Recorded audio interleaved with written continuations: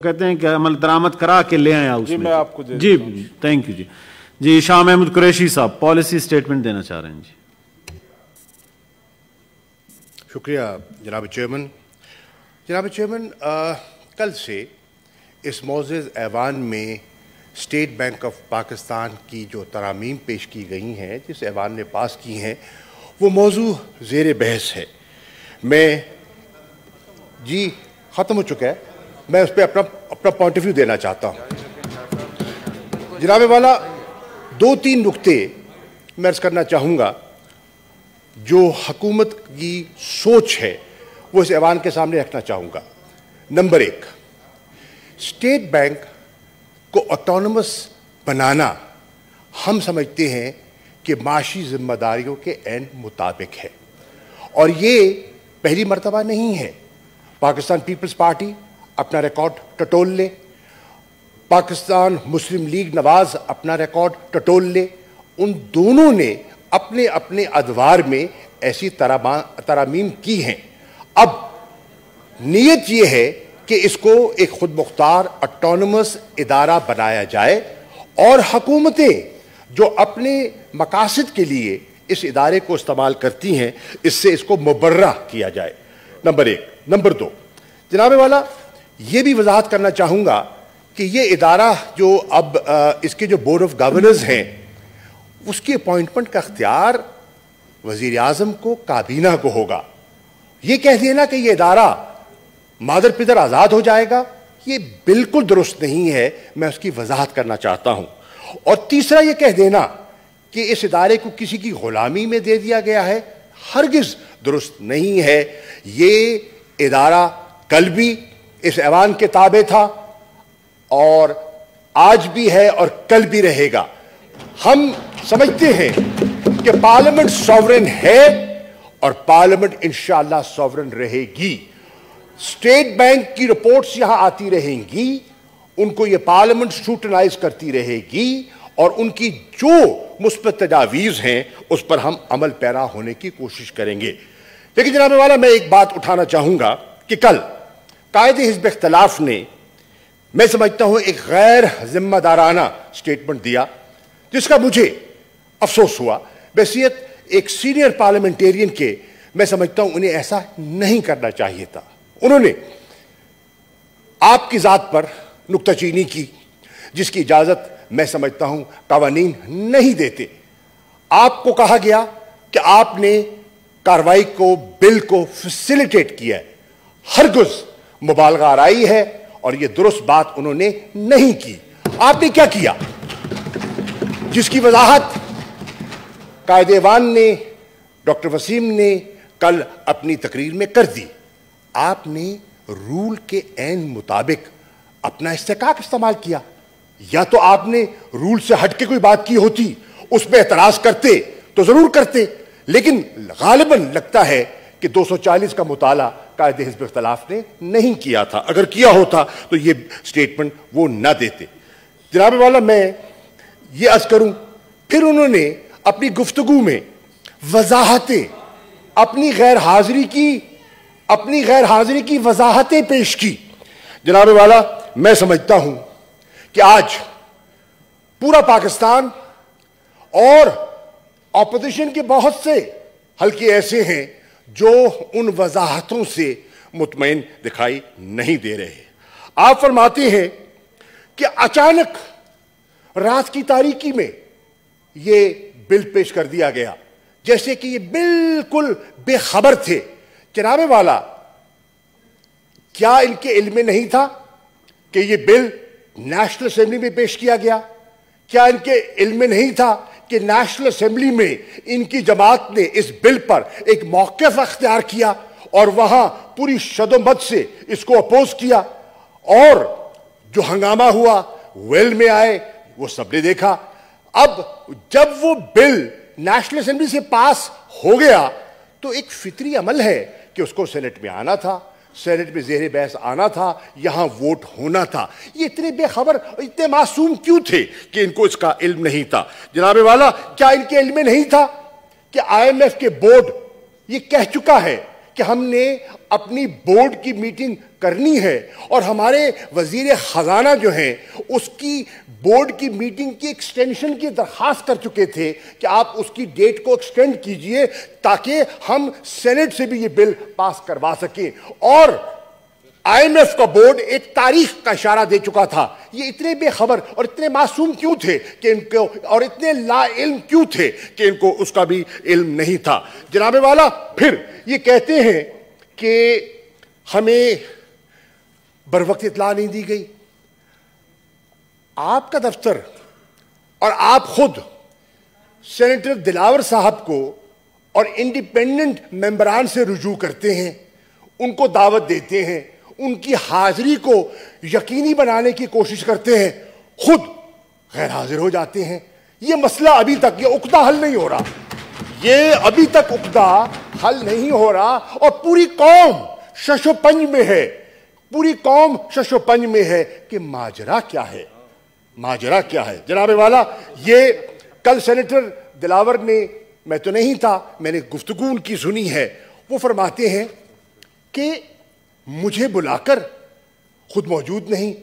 मैं आया, इनकी दावत पर आया, इनके दफ्तर गया, दस्तक दी। खाली वीराना था, कुछ दिखाई नहीं दिया। दूर दूर तक कायदे हिजब इख्तलाफ दिखाई नहीं दिए।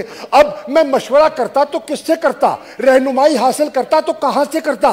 कायदे हिजब इख्तलाफ कहीं होते तो मशवरा करता। I am don't tell me I I been in the house long enough okay now जनाबे वाला अब जनाब वाला वो किससे मशवरा करते? जनाब इधर बात है चेयर से जी। मैं आपसे अब देखिए हाय हाय जी जी। कितने परेशान हो रहे हैं। मेरा जी, ठीक है। गवारा नहीं आपको? सर इधर बात करें सर। आँखों में लाओ नहीं यार देखो आँखों में आँख डाल के बात करते हैं। दिल से दिल में सर, सर, इधर, प्लीज़। शुक्रिया अदा कर रहे हैं। महमूद साहब।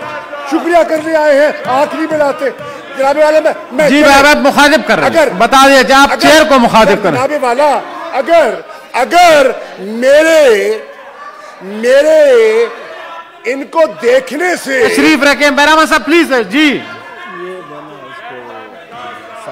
सर अगर जनाब चेयरमैन जनाब चेयरमैन अगर प्लीज़ ऑर्डर प्लीज़ तशरीफ़ जी।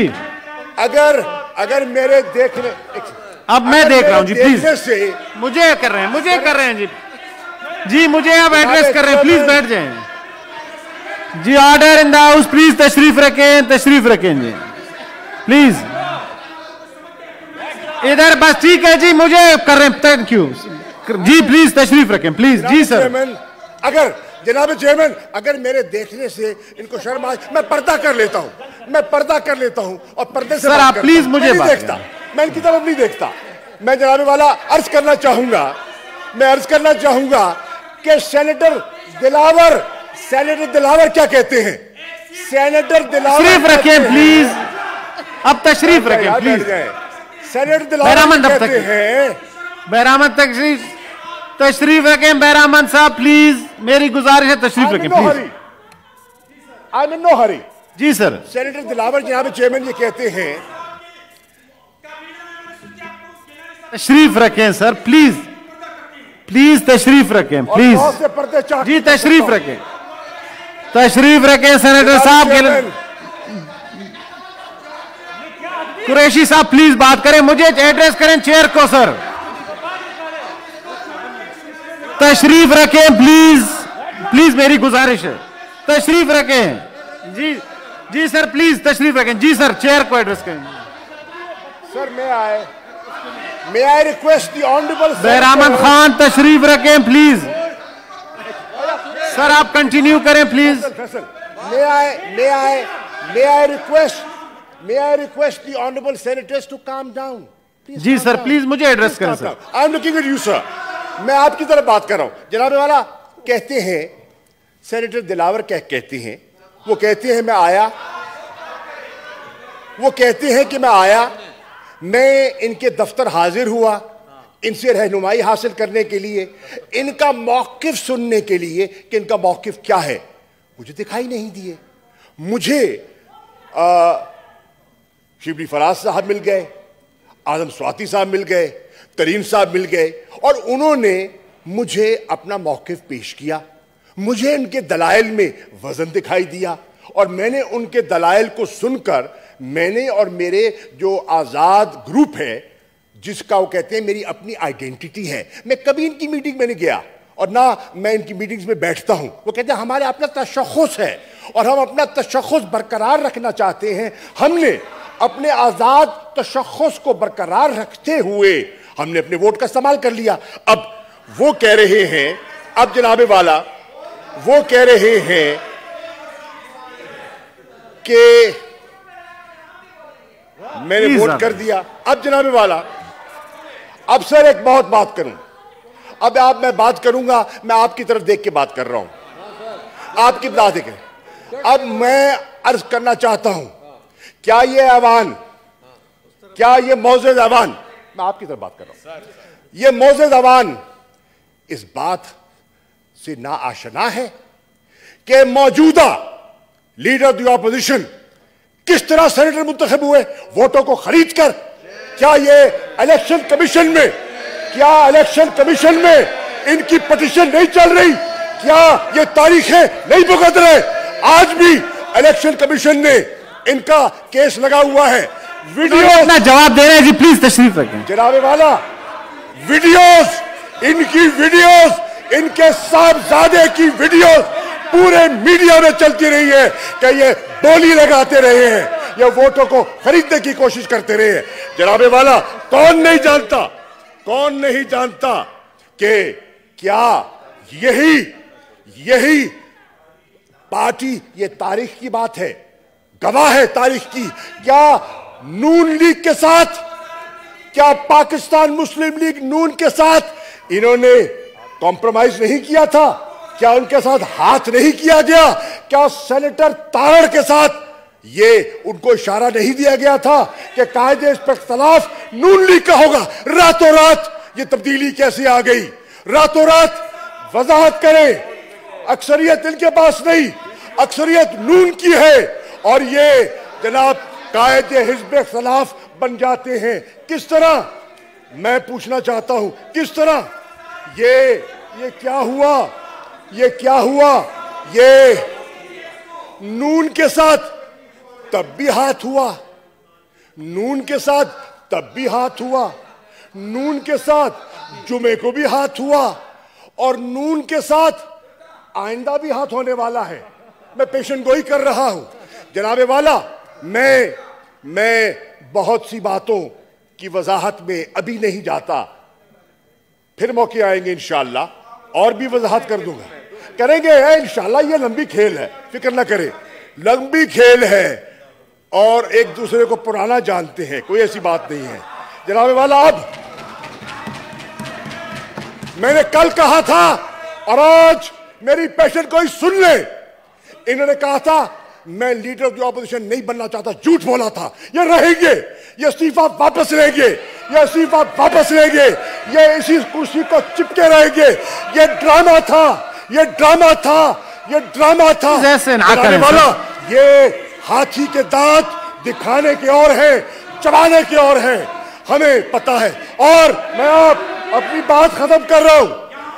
मैं मोजिज मेंबरान सेनेट को कहना चाह रहा हूँ। I I am warning you honourable members of the senate listen and pay attention to what I am saying I am saying of the senate The leader of the opposition is a compromised leader. He's a compromised leader. Don't rely on him. क्या आपको अपनी सफों में रजा रबानी जैसा मंजा हुआ parliamentarian दिखाई नहीं देता आपको अपनी सफों में शेरी रहमान साहिबा जैसी मंजी हुई सियासतदान दिखाई नहीं दे रही एक कॉम्प्रोमाइज एक बिका हुआ Leader of the opposition please personal no जी इस तरह ये एक्सपेंड कर दें जी इस तरह नहीं thank you thank you thank ऐसे नहीं The House stands adjourned to meet again on Friday, the 4th February 2022 at 10:30 a.m.